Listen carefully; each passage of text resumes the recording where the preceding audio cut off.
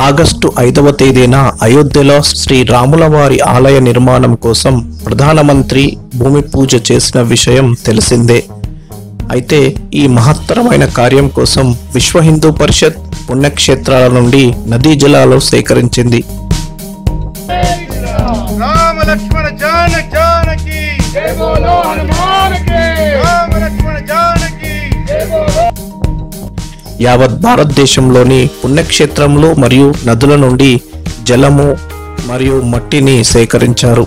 ఇలా సేకరించిన వాటిని అయోధ్య రామాలయం నిర్మాణం జరుగుతున్న ప్రదేశానికి విహెచ్పి ప్రధాన కార్యాలయం వారు తరలించారు.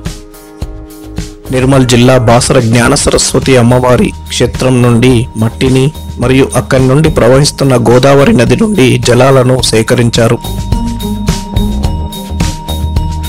अयोध्यापति राजा रामचंद्र भगवान की। जय श्री राम श्री राम जय श्री राम जय श्री राम राम लक्ष्मण जान जान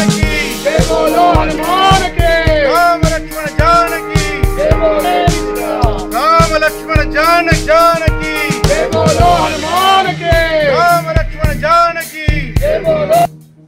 సేకరించినవి ప్రత్యేక పాత్రలో నిల్వ చేసి అమ్మవారి వద్ద ఉంచి పూజలు చేశారు. అనంతరం నిల్వ చేసిన పాత్రలను విహెచ్పి ప్రధాన కార్యాలయం హైదరాబాద్ వారికి అందజేశారు. తెలంగాణ వ్యాప్తంగా ఉన్న పుణ్యక్షేత్రాల వద్ద సేకరించిన పవిత్ర మట్టి జలాలు అయోధ్యకు తరలించారు.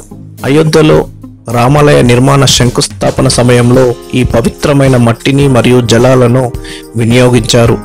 ఈ ఈ మహాకార్యాన్ని విహెచ్పి జిల్లా మరియు రాష్ట్ర కమిటీలు ప్రత్యేకంగా శ్రద్ధ వహించాయి.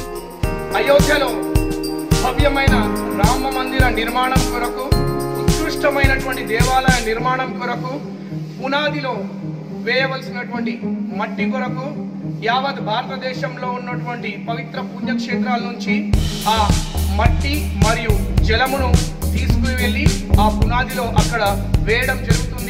ఈ కార్యక్రమంలో భాగంగా విశ్వ హిందూ పరిషత్ హిందూ శాఖ తరఫున ఈరోజు పవిత్ర వాసన దేవాలయంకి వచ్చి ఇక్కడ ఉన్నటువంటి గోదావరిలో ఉన్నటువంటి జలాన్ని తీసుకోవడం అలాగే అమ్మవారి ఆలయ సన్నిధిలో ఉన్నటువంటి మట్టిని తీసుకోవడం అమ్మవారి సన్నిధిలో పెట్టి పూజ చేసిన తర్వాత ఈ మట్టిని మరియు పవిత్రమైనటువంటి జలాన్ని భాగ్యనగర్కి తీసుకువెళ్ళడం. అక్కడ నుంచి అది అయోధ్యకు వెళ్ళడం జరుగుతుంది. ఇదే రామ మందిర పురాన్ని ఏదైతే వేయబోతున్నారో దాంట్లో ఈ మట్టి మరియు జలము కూడా కలిపి దాంట్లో వేయడం జరుగుతుంది. కాబట్టి అట్టి పవిత్ర కార్యానికి హిందూ యావత్ ప్రపంచంలో హిందువులందరూ ఎప్పుడెప్పుడు ఆయన ఎదురు చూస్తున్న ఉత్కృష్టమైన రామాలయ నిర్మాణం కోసం ఇక్కడ నుంచి వెళ్తున్నటువంటి పవిత్రమైనటువంటి ఈ జలము మరియు మట్టిని ఈ రోజు మా చేతుల మీదుగా అమ్మవారి సన్నిధిలో పూజ చేయించి మేము తీసుకెళ్ళడం అనేది మా జన్మ జన్మల సుకృతం అనుకుంటున్నాము. కాబట్టి